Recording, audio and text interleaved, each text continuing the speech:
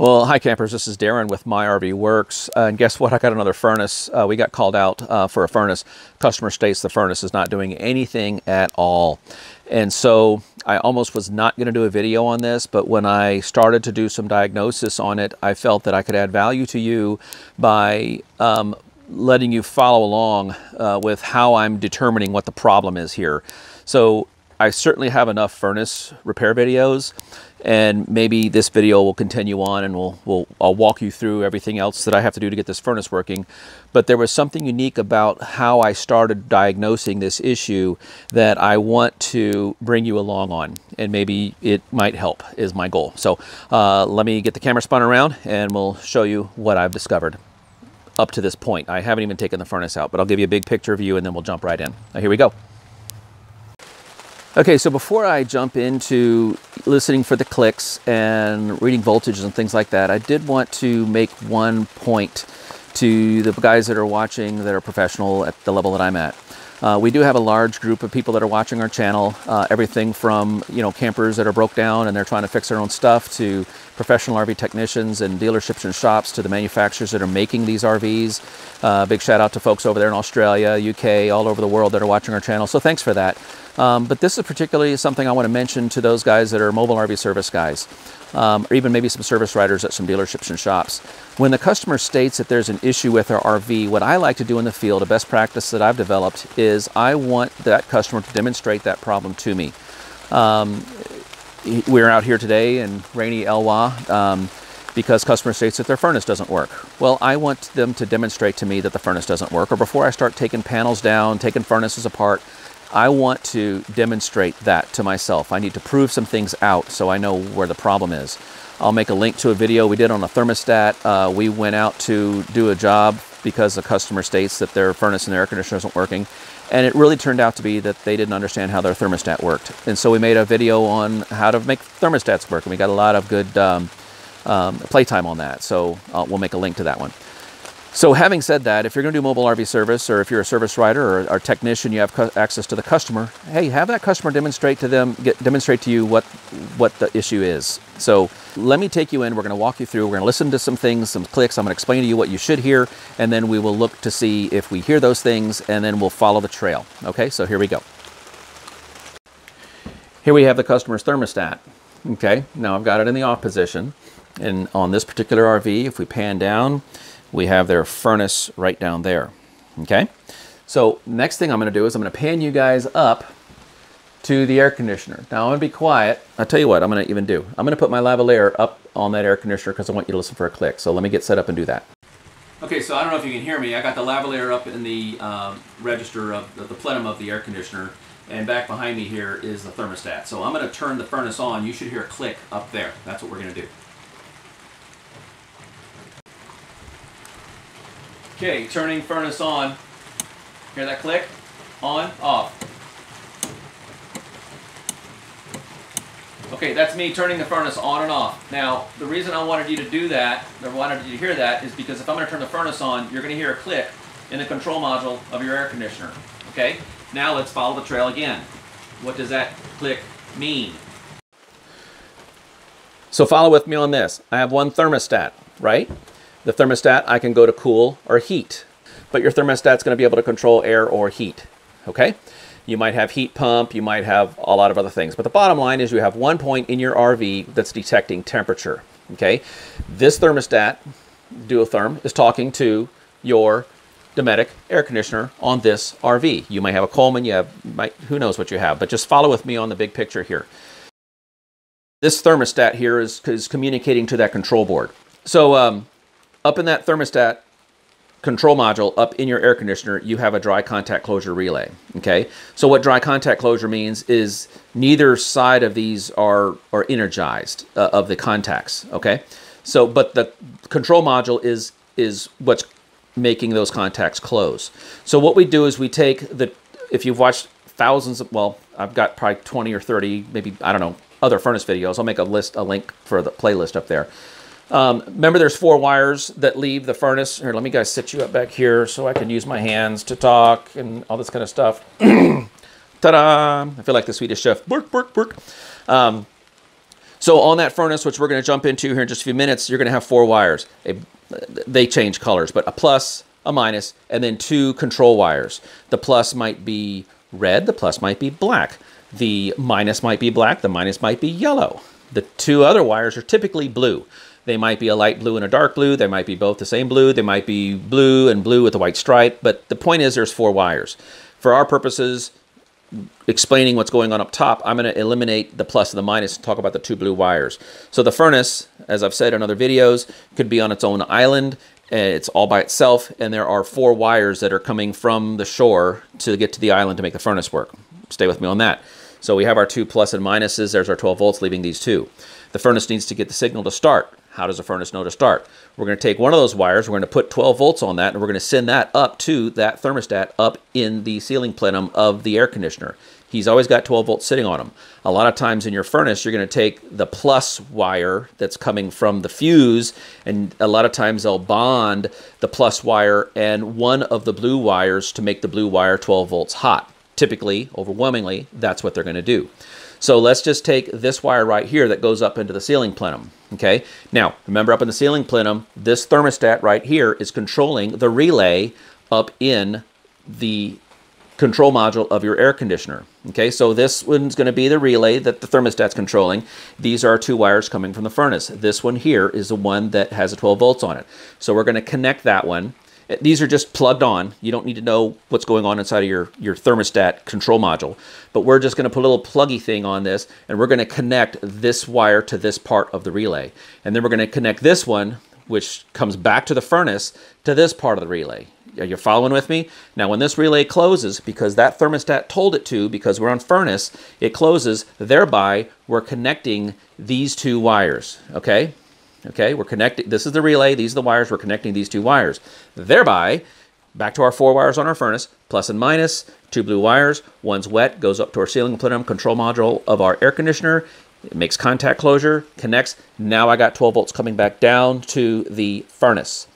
Now that I have 12 volts coming back down to the furnace, that tells the furnace to start.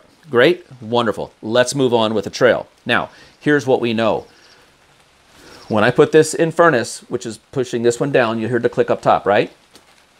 It's very audible. The next click you should hear is maybe a click down here where the furnace is. Okay, now when I got here, I started to do exactly what I'm doing right now. Have I taken a single tool out of my tool bag? No, I have not.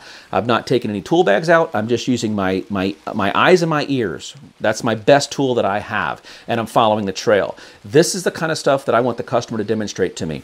I want, because maybe they don't know how to do this, or maybe, maybe the thermostat is down here to 40 degrees, for example, and they're doing furnace, you probably will not hear a click. Yeah, you're not going to hear a click. So I'm on furnace. I heard no click. You may not be able to, but I can. And now I'm going to bring my slider up, and when I get to that magic point, I'm going to hear a click. Let's see here. There it goes, right at 65-ish. It could have been something as simple as that, okay? Um, I've gone on service calls where the customer states that their water pump's not working, okay? They flip the switch, the water pump's not working, water pump's not working, only to find out that the water pump's not working because there's pressure in the line. There's on those water pumps, there's a limit switch, the pressure switch on the head of those water pumps. So you open up a valve, See, they were just thinking the water pump needs to, to make the noise. Okay, so that is why I'm trying to drive the point home, and I'm not going to do it again, on have the customer demonstrate to you some things. So I have not broken down any tools. I'm doing some listening checks. After I heard the click up top, and I'm going about my diagnosis, my initial diagnosis, that is when I decided, hey, I hear the click up top. Therefore, I got 12 volts up in the ceiling plenum because that relay is controlled by 12 volts. I know I have 12 volts up on my ceiling plenum. Do I have 12 volts at my furnace? So again, we don't have to break out any tools, take walls out, take furnaces out. Let's see, do we have 12 volts at the furnace? Now, what's the best place to check for that? Let's start at the fuse panel. So I'm going to spin you around. The fuse panel is right down here, and let me walk you through what I'm going through to diagnose this. Okay. At this point, I don't need any tools. I just need my meter. Okay. So let's see what we got. Okay, so here they have, obviously this is a little bit of an older RV, but the principles are the same even if you have a really high-end coach. We're following the trail. So I'm to set my meter up here. Now I think I have fixed this first issue that I'm going to demonstrate, but it was an issue originally, and what I'm about to show you, which I believe is fixed, is what caused me to say, hey, let me get a um, my camera going here. So I've got 12 volts DC. Can you guys see that? There's a glare. It doesn't matter for our purposes. So I think you can see that. These are the fuses. The legend down here tells me that's the furnace. Okay, so this should be the minus. This one should be plus. And when I do that, I have 13.7 volts.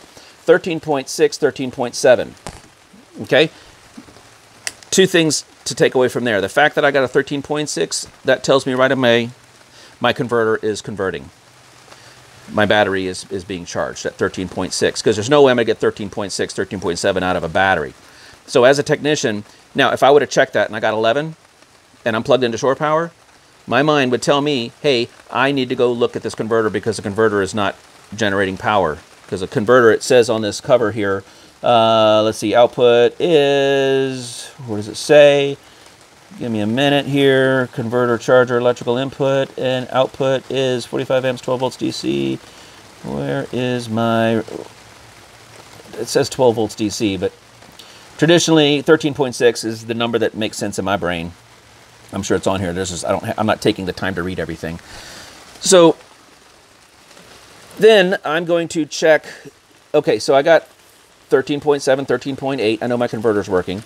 And then this one's to my furnace. So now at the, as of this point, my furnace is getting power. But the reason I started this video, and the reason I'm really trying to add value to you guys, is because when I first did this right here, just now, there was zero between these two points. Nothing. Nothing at all.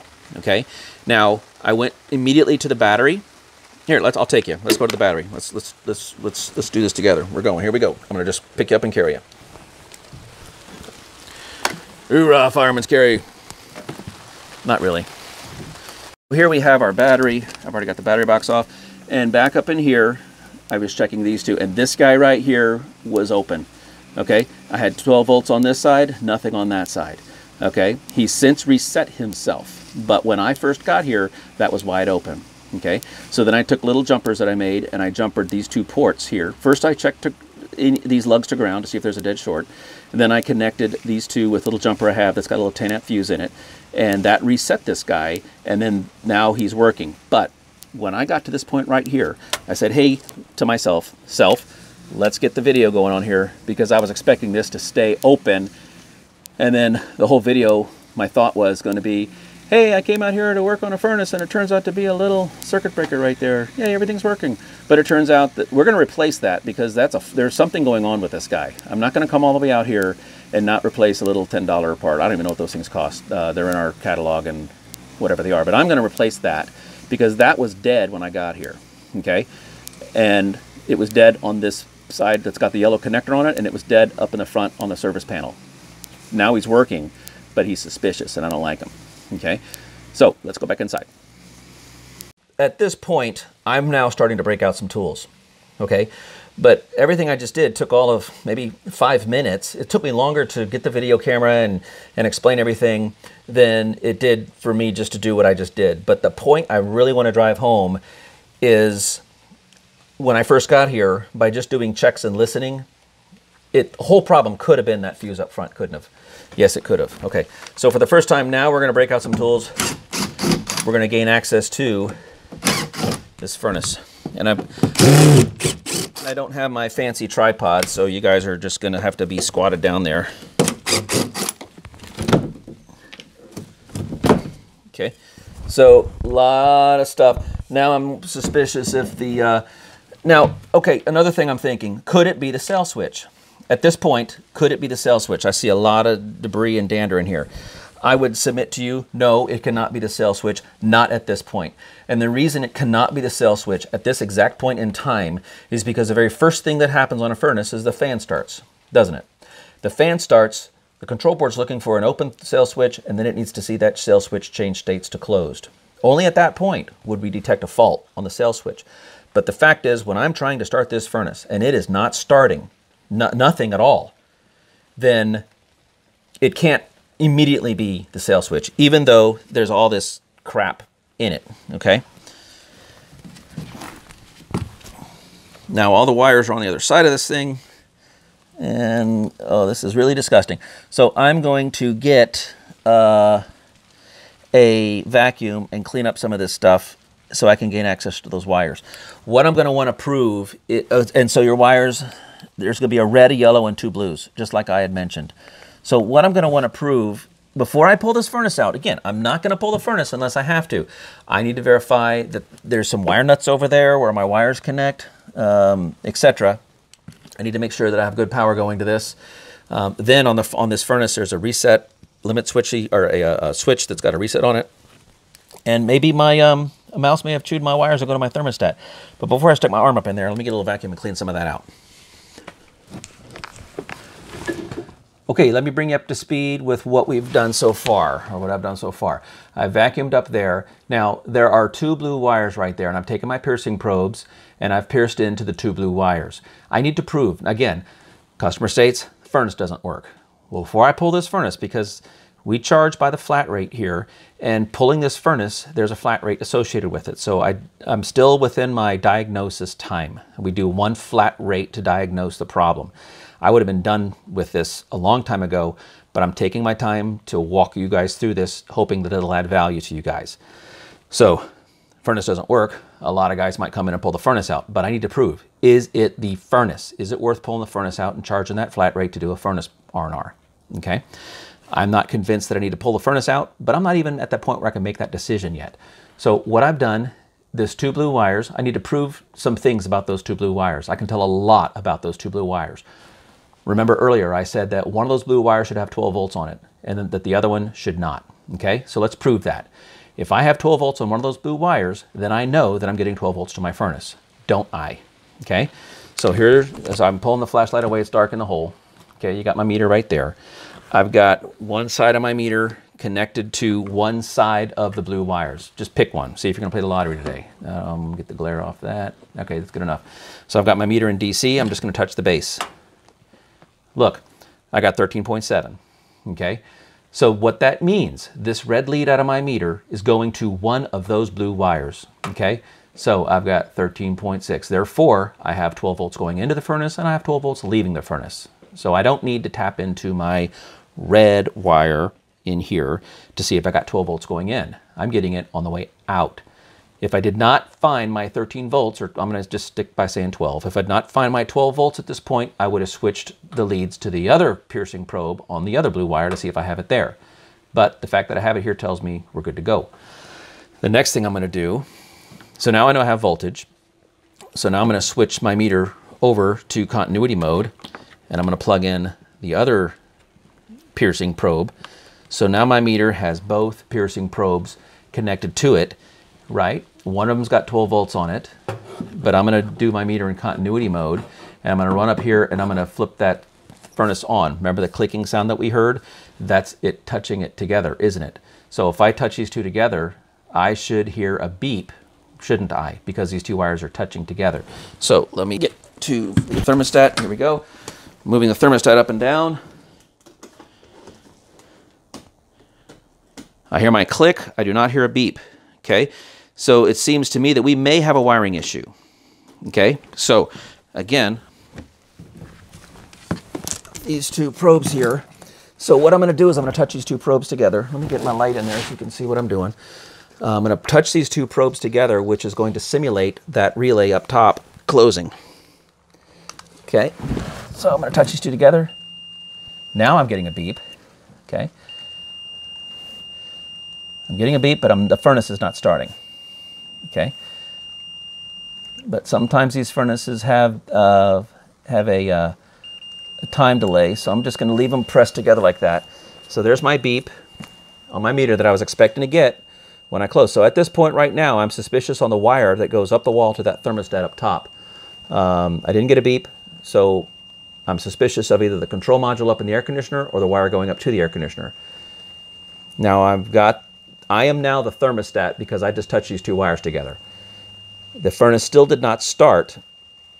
So now I would want to gain access. At this point, only at this point am I ready to pull this furnace. I've proven the furnace is getting power. I've proven that furnace power is leaving the furnace on the blue wire.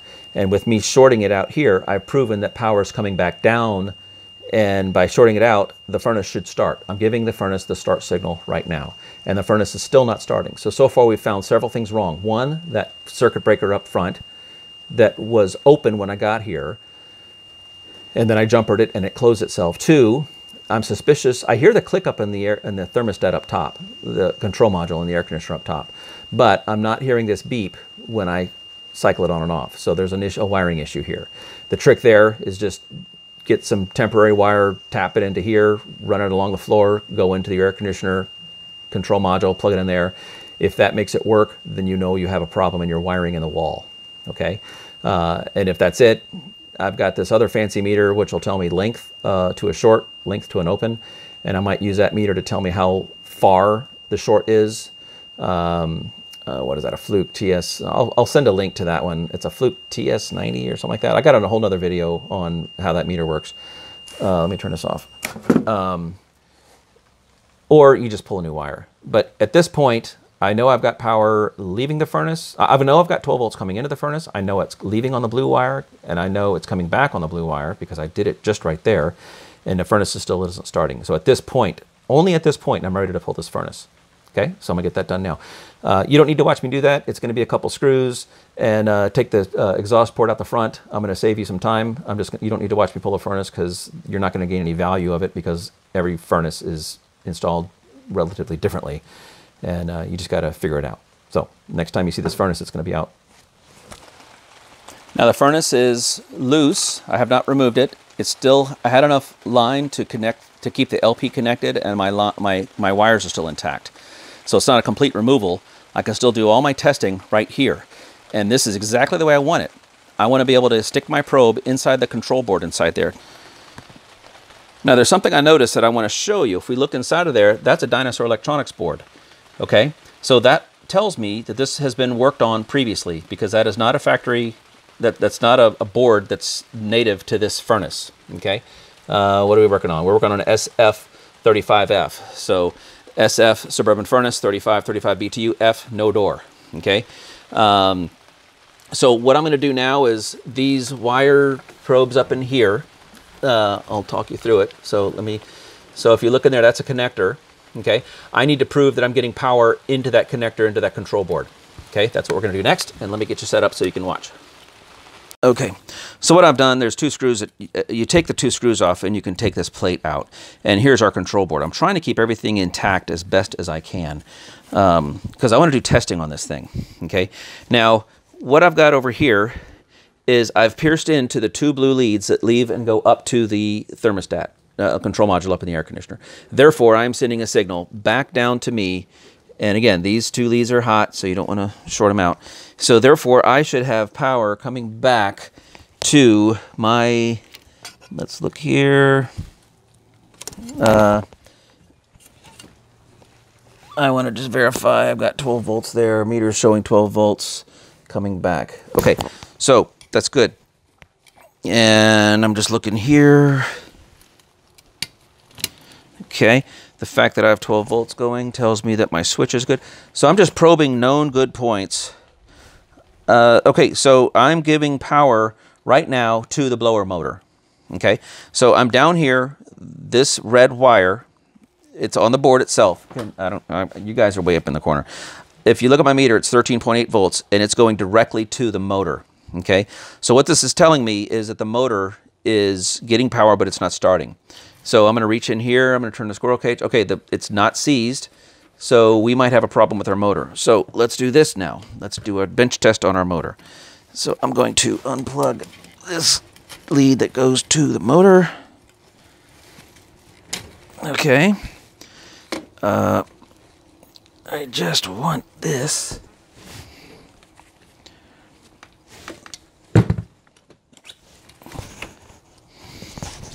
There we go. Okay, so I've got this big red wire goes to my motor. I'm going to, uh, what am I going to do? I'm going to grab my favorite little test lead here. I'm going to put red right in here. So what I'm doing now is I'm going to put a known good 12 volts directly into that motor. Okay, so there we go there. And this one, I want to verify that the motor is grounded. By verifying it's grounded, I could just ground that to the case, can't I? I'm going to take the battery off my drill and I'm going to give the motor a known good 12 volts. So here I have red and on my battery pack I got a plus, so that goes there. So if the motor's good, I should get 12 volt, I could get a motor running. Okay, so the, the problem on this one is the motor's bad. Okay, so we really can't go any farther with this furnace until we put a new motor in it. Okay, so basically um, the troubleshooting led us to a bad motor. I really need to get this motor replaced before I start diagnosing some other things. That might be the whole thing. Earlier I had said, could it have been the sail switch? Hey, maybe. Maybe the sail switch is right here. Sounds good. But we don't know because the first thing this board does is it sends power to the motor. And we prove that because we're sending 12 volts out of this board to that motor and the motor's not starting. Okay, so let me see if I have a motor. Okay, I just checked my service trailer. I have probably five, I counted five different furnace motors, one each, but I do not have this one, okay? So we're gonna basically shut this video off here and um, we'll get that motor and I've already got another video on swapping out a motor but uh, if this one proves to be a little challenging, maybe I'll make a video of it. The challenge of swapping out the motor is you have to get that combustion wheel, which is a smaller wheel, off of the far side. And sometimes you're going to spend a lot of time getting that off. Uh, so a lot of times what I'll do, well not a lot of times, it's just a standard. When I buy a new motor for these furnaces, I always buy two new wheels, the combustion wheel and the blower wheel. Um, they're like 12 bucks for a wheel. It's just, just do it, put a new wheel on there. Um, they're better balanced and, and just, just do that because if you take those wheels off, and this one's a metal. I can see right here. This one's got a metal wheel. If you're working that thing and you're trying to get it off and you wiggle it just wrong it gets out of balance you're gonna just have vibration issues. So uh, when I buy a motor for the furnaces I always buy two new wheels the combustion wheel and the blower wheel just, just three parts. It's just an automatic thing. So uh, yeah hey man. Um, so where we're at right now, um, I'm going to stop the service call with this furnace motor. We're going to talk to the customer. We're going to let them know that this is what we found out with it, and um, do they want to proceed. Um, now, I will mention this. Suburban does have a, um, what do they call it, like a core exchange program. So if you're running into some problems with your Suburban furnace, you might want to look and see or talk to your dealer or if you're a tech or something, just call Suburban and, and see if they have a core exchange for that particular um, model number okay? Uh, some of the parts especially the motors uh, and that's where we use the core exchange mostly. Some of the motors they don't make them anymore. They don't have the machines to make the motors. They just stopped making those and they made new motors. And uh, so well gee your whole furnace is shot. And uh, so suburban does offer core exchange. Look into that. Basically you're leaving the the cage the, the carcass that the furnace goes into you take that screw off the back you slide the whole guts out. I think you send them the old motor or you send them something. Um, the office figure knows what to do. And then that new core slides right on in and replaces it so file that away. It's a tip for the suburban core exchanges. Um, but uh, so we determined that there's something wrong with that circuit breaker up in the front. We determined there may or may not be something wrong with the wire going up and down to the ceiling plenum. Um, so it could be the control board or the wire. We haven't troubleshot that yet, but we do know that when we flip that switch to furnace, we're not getting the beep that we expect to get when I touch those two wires together myself. So there's still an open issue with that wire. Um, what I'd like to do is put a new motor in this thing, get it to work right here where I touch my wires together, and at that point, then we'll pick up the troubleshooting up the wall, thermos, uh, the circuit breaker, and all those types of things. With me? So, hey, if this video added value to you up to this point, give us a thumb up. We really appreciate that. Um, subscribe to our channel if you haven't already. For those of you watching from all over the world, it's, it's a tremendous honor to be having your attention with all the other people that are watching. So I really, that's a personal from my heart to you. Thank you for watching. Um, we're getting comments from literally many, many, many different countries. So um, it's because of you guys that we're doing this. so hope it adds value. So give us a thumb up. And so where am I at here? I'm in Elwha. Yeah, I'm right. The Elwha River is just right over here. Uh, this is an area that we've been to several times. It's stunningly beautiful. The clouds are really low over the mountains, but they're right there. Um, if I take you over, you've been with me this far. Let's. I'm going to take you over there. I'm going to say goodbye now. And um, I got mountains over there, and I got mountains over there. I'm going to see if we got if the, the the sun has come out. So let me grab you guys, and I'm going to flip you around. And uh, here, let me flip you around. Okay, there we go. Uh, great shot of our service truck and our trailer. We've had a lot of people asking me to do a video of my service trailer. I'll probably get around to that. It's just a mess in there. But uh, so here we have all these mountains. Oh, there was a property for sale just right over there on the left of the screen that was like a million bucks. And uh, like, you take cash? No. I'm not there. But anyway, so yeah, earlier the mountains, the clouds were really low and that's when the rain was here.